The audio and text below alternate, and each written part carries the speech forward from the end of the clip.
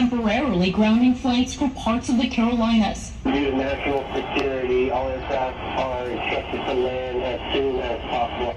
Then at 2.39 p.m., an F-22 fired a single missile roughly six nautical miles off Myrtle Beach. We have eyes on the balloon falling. The balloon punctured its payload, plunging 60,000 feet into the Atlantic Ocean. Elwin Lopez joins us now from the Atlantic Ocean, not far from where officials are searching for debris in those choppy conditions we can see. And Elwin, this is not the only spy balloon of its kind. Yeah, what you said was existing, but the U.S. Coast Guard and the Navy are evidence as they search for whatever's left of that massive balloon. 大家好，今天是二零二三年的四月五号，星期三，继续， 呃，在中国驻华盛顿大使，呃，就是公使，公使终止公使学院的官邸抗议。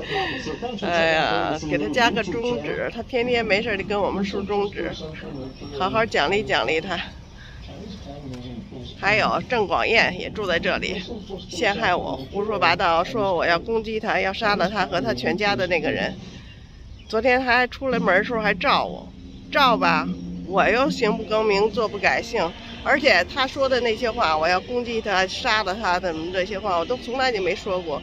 我希望他能拿出证据来，要不他这样说瞎话、编编假话，欺骗美国警察，欺骗美国政府。